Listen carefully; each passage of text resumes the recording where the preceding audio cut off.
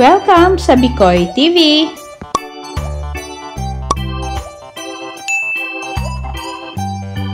Gagawa tayo ngayon ng triple chocolate cake. At narito ang mga ingredients.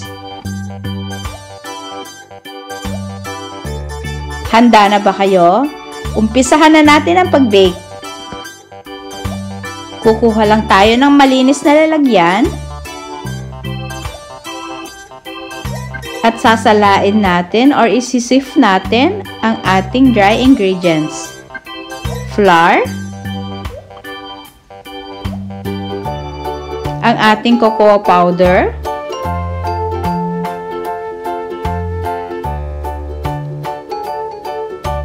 at brown sugar.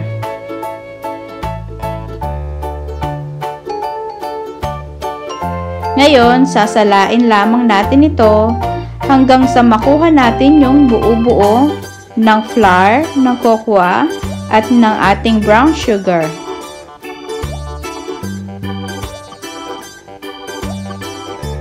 Hahaluin natin ito para agad masift ang ating ingredients.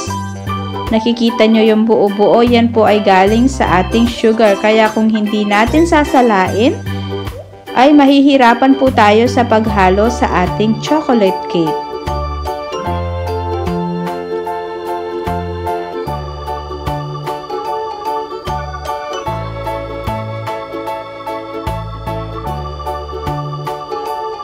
Ayan, malapit na nating matapos ang pag-sift or pagsala. Ngayon, itatapon natin ito, hindi na natin na uh, ilalagay sa ating mixture. At isunod naman nating salain ang ating salt, baking soda at baking powder. Yan, may buo-buo pa. At pagkatapos, hahaluin lamang natin ito hanggang sa makombine ang lahat ng ingredients.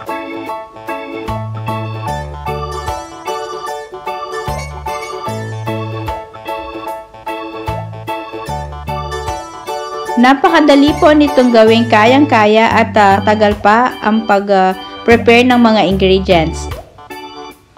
Kuha ulit tayo ng malinis na bowl. Imimix naman natin dito ang wet ingredients. Ilagay ang ating evaporated milk.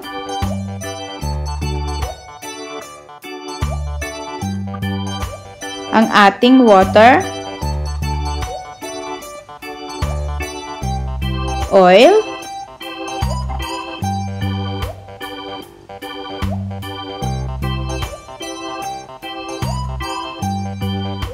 Vanilla syrup,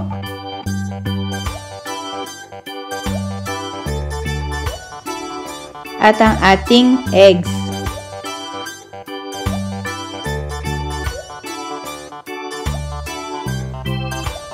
Imimix lamang po natin ito hanggang sa makombine ang ating lahat ng ating uh, wet ingredients. Haluin po lang natin.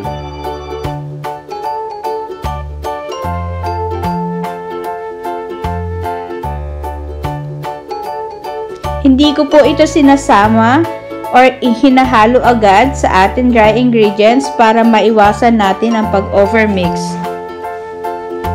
At kung sa tingin ninyo ay nahalo ng mabuti, ngayon naman imimix na natin ang wet at ang ating dry ingredients.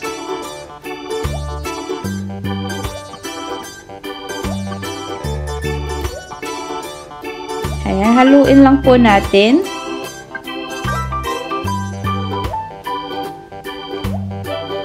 Huwag po ninyong i-overmix kasi kapag na-overmix, uh, maaari pong uh, tumigas ang inyong uh, cake. Hindi po ito magiging moist. Napaka-importante pong salayin ng ating dry ingredients para maiwasan natin na mahirapan sa pag-mix ng ating mga ingredients.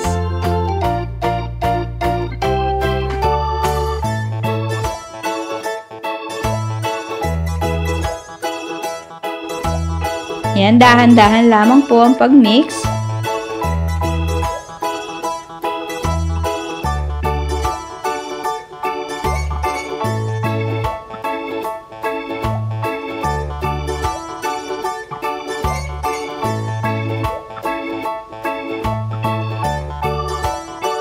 Napakadali po nitong gawin at pwedeng-pwede po ninyo itong pagkakitaan. Pwede po ninyong ibenta sa online, sa inyong mga kapitbahay, habang uh, uh, pandemya at walang trabaho, pwedeng pwede po ninyo itong, uh, uh, pwedeng pwede po itong makatulong sa inyong pamilya. Ayan, kapag okay na, ilalagay na natin ang ating chocolate chips. At hahaluin lamang po natin ito ng bahagya.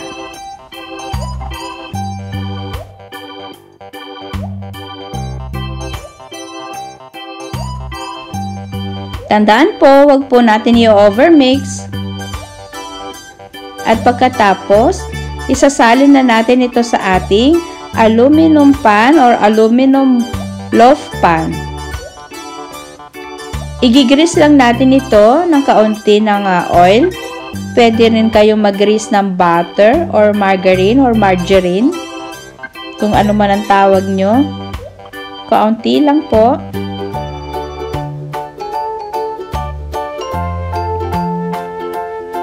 Ayan, at uh, susukatin natin para pantay-pantay ang laki or dami ng ating uh, triple chocolate cake.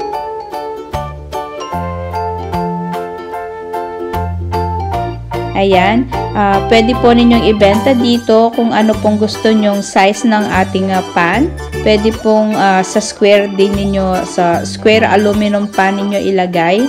Tapos, takpan lamang ito at pwede na ninyong ibenta. Lagyan lang ng uh, inyong pangalan or ribbon para maganda, di ba? Ilagay lang ng pantay-pantay ang ating uh, cake mixture para pare-parehas ang dami ng ating chocolate cake.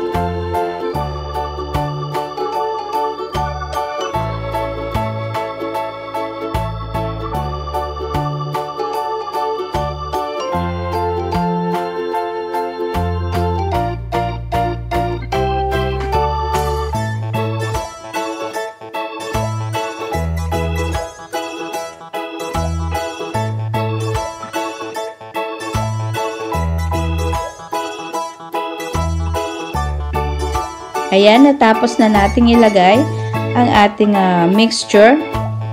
Ngayon, pwede na nating uh, budburan ng uh, peanuts. Kung kahit anong peanuts ang gusto nyo or available sa inyo, ito po ay optional lamang, pang design lamang. Uh, kung gusto nyo po, wag na po ninyong gawin uh, or lagyan ng peanuts. Kung ibebenta nyo, wag lalahatin na lagyan ng peanuts para uh, sa mga binibentahan ninyo baka may uh, baka may mga may allergy sa peanut? Lagyan na lang ito ng chocolate sa ibabaw. Yan lalagyan na natin ng chocolate sa ibabaw. Napakasarap po nito at napaka moist kaya uh, i-try po ninyo itong gawin sa inyong mga tahanan. I-preheat po ninyo ang inyong oven sa 170 degrees Celsius for 10 minutes at ibig po ito ng 45 minutes.